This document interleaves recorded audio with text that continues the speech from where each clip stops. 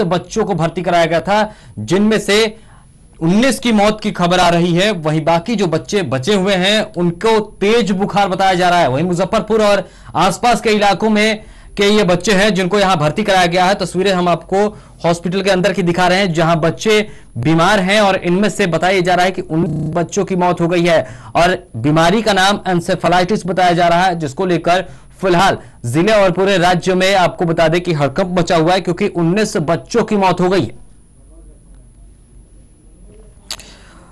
और हमारे सहयोगी मनोज इस वक्त हमारे साथ हैं। मनोज, फ़िलहाल की स्थिति की अगर बात करें तो एसकेएमसीएच में कैसी स्थिति है या फिर पूरे ज़िले की स्थिति की बात करें तो फ़िलहाल बच्चों की स्थिति कैसी है? अभी जो है, आज की तारीख में जो एसकेएमसीएच में कुल 24 बच्चे भर्ती हैं। आज तेरह नए जो बच्चे हैं, इस बीमारी से पीड़ित। उनकी भर्ती हुई है जिसमें दो बच्चे सुबह से अभी तक मौत है। और कुल मिलाकर कहें कि ये कसमों वाली स्थिति है। बच्चा अगर बचाया जाए तो किस बेस में बचाया जाए और डॉक्टर इसके आगे क्या उपाय करे? तो ये प्राकृतिक आपदा है। एक तरह से अगर कहा जाए तो बच्चे पे जो भी पेरेंट्स है वो ध्यान नहीं देते हैं जिससे पानी की कमी हो समय पर खाना नहीं मिलना। ये खासकर इस बीमारी का मूल जड़ है जिस कारण से इतनी बड़ी समस्या उत्पन्न हो रही है। और जो एक्सपर्ट डॉक्टर है उनका कहना है की जितना गर्मी बढ़ रहा है गर्मी के साथ ह्यूमिडिटी बढ़ रही है उस कारण से ये जानलेवा बढ़ते जा रही है और जो बारिश का जो मौसम है वो बारिश जब तक नहीं आएगा तब तक इस मौसम का कहर बदस्तूर जारी रहेगा। लेकिन स्वास्थ्य विभाग की तरफ़ से व्यवस्थाएँ की गई है लेकिन उतनी ज़्यादा व्यवस्थाएँ नहीं की गई है जितना ज़िले में चाहिए था। जिस हिसाब से जो प्रकोप है वो चल रहा है। उस उस हिसाब से कोई व्यवस्था ज़्यादा नहीं है जिस कारण से काफ़ी मशक्कत करनी पड़ रही है और जो पेरेंट्स है वो समय अनुसार जो है बीमारी होने के बाद बच्चों को अस्पताल तक नहीं ला रहे हैं। स्थानीय कोयक और झाड़ फूक के फेरे में पड़ जा रहे हैं जिस कारण से बच्चों को दम तोड़ने की स्थिति आ रही है। जी। बिल्कुल लेकिन मनोज जिस तरीके से व्यवस्थाएँ की जा रही हैं क्या कोई बड़ा अधिकारी स्वास्थ्य विभाग का वहाँ पहुँचा है? क्योंकि 19 बच्चों की मौत या फिर जिस तरीके से बच्चों की मौत लगातार हो रही है एक बड़ा एक तरीके से ये हुआ बात है। लेकिन इस पर क्या कोई अधिकारी वहाँ पर पहुँचा है? क्या कोई मंत्री वहाँ पर पहुँचे हैं? क्योंकि इस तरीके से बच्चों की मौत और इस पर सिर्फ़ डॉक्टर का यह कह देना कि यह प्राकृतिक आपदा है इससे तो काम चलता नहीं।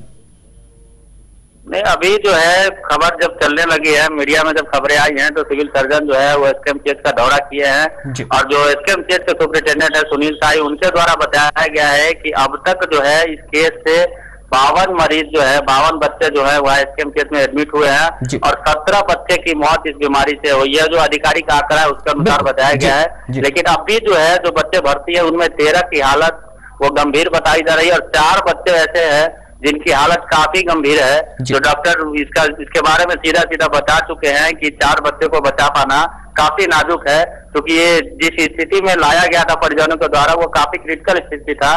तो इस ख्याल से कहा जा सकता है कि डॉक्टर जो यहाँ इलाज जो कर रहे हैं, वो अपने स्तर से जो लगातार जितना बन सके वो ज़्यादा ज़्यादा देने की कोशिश कर रहे हैं लेकिन जो जिस हिसाब से बच्चे आए हैं जिस कंडीशन में बच्चे आए हैं उसको झेल पाना डॉक्टर के लिए भी काफ़ी सिरदर्द बना हुआ है मनोज क्या हॉस्पिटल में उतनी सारी व्यवस्थाएँ हैं जिस तरीके से आप बता रहे हैं कि चौवन बच्चे या बावन बच्चे जो भर्ती कराए गए हैं क्या इतने बड़े स्तर पर एसके में जो व्यवस्थाएँ होनी चाहिए बच्चों को देखरेख के लिए वो फ़िलहाल अवेलेबल है क्या? नहीं, उतना ज़्यादा व्यवस्था है अगर हम कहें तो वो जल्दीबाजी होगा, क्योंकि मुजफ्फरपुर ज़िले में मात्र दो अस्पताल है जहाँ इस तरह के इलाज चल रहा है। एक निजी अस्पताल है, वहाँ पे चल रहा है और दूसरा जो एसकेएमसीएच है, मेडिकल कॉलेज मुजफ्फरपुर का, पूरे उत्तर बिहार का जो जो भी पेशेंट आता है ये एसकेएम केस में ही आता है। बिल्कुल। तो कुल मिलाकर कहे कि एक अस्पताल है जो पूरे जिला का बागडोर को संभाल कर रखा है और इसी जगह पे सारे बच्चे का इलाज जो है लगातार चल रहा है। बिल्कुल। फ़िलहाल तमाम जानकारियों के लिए मनोज आपका बहुत बहुत धन्यवाद। तो ये थे हमारे सहयोगी मनोज जो अधिक जानकारी दे रहे थे। तो आपको बता दें कि आधिकारिक आंकड़ा सत्रह बच्चों का बताया जा रहा है जिनकी मौत हो गई है। वहीं बताया जा रहा है कि चार से पाँच बच्चे जिनकी स्थिति काफ़ी गंभीर है उनके लिए डॉक्टर ने शायद ये कह दिया है कि अब उनको बचाना मुश्किल होगा।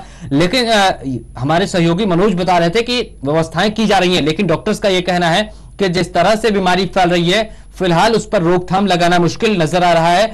कठिनाइयाँ बहुत ज़्यादा है क्योंकि काफ़ी संख्या में एसकेएमसीएच में बच्चे भर्ती हो रहे हैं। चौवन का आंकड़ा बताया जा रहा है कि बावन से चौवन बच्चे अब तक एडमिट हो चुके हैं, जिनमें सत्रह की मृत्यु की पुष्टि हुई है। वहीं चार से पाँच बच्चे काफ़ी गंभीर स्थिति में बत, बताया जा रहा है जिनकी मौत हो सकती है। डॉक्टरों का यह कहना है कि इन्हें बचाना मुश्किल है क्योंकि उनको काफ़ी इन्फर्टिलाइसिस जो रोग है जो दिमागी बुखार बुखार कह लें या फिर जापानी बुखार कह लें वो एक तरीके से काफ़ी उस बीमारी का कहर उन लोगों पर है तो उन लोगों को बचाना थोड़ा सा मुश्किल ज़रूर नज़र आ रहा है।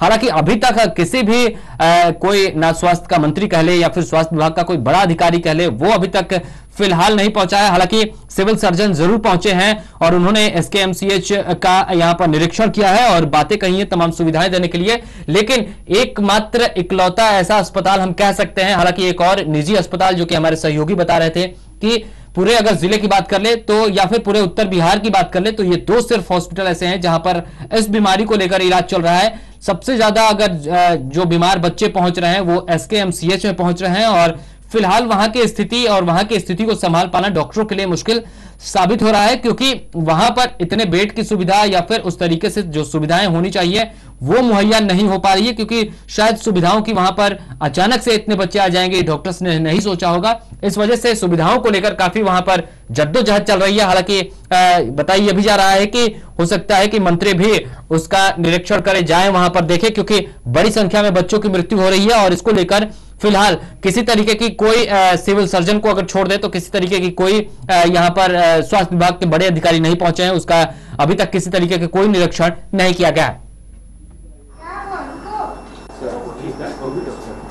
क्या नाम है नाम बोलिए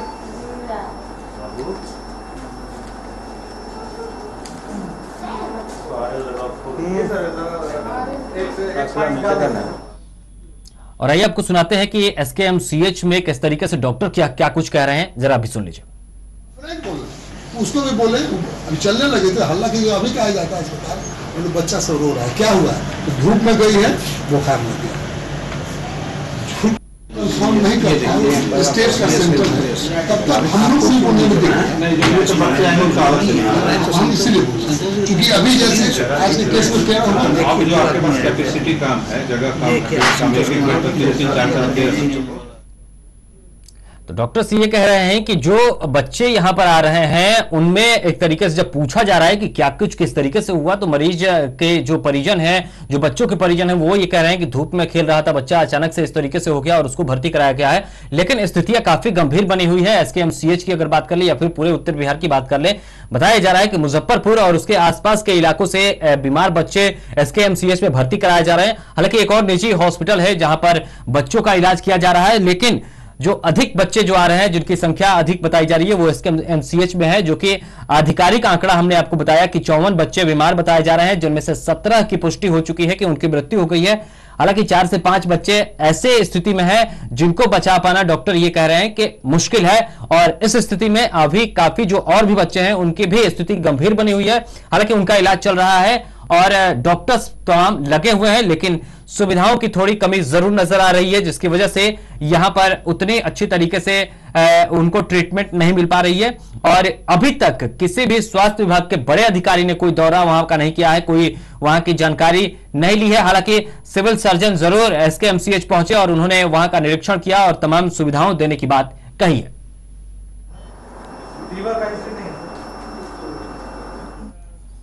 न्यूज़ वन अलेवन के वीडियोस को देखने के लिए चैनल को सब्सक्राइब करें और बेल आइकन का बटन दबाएँ।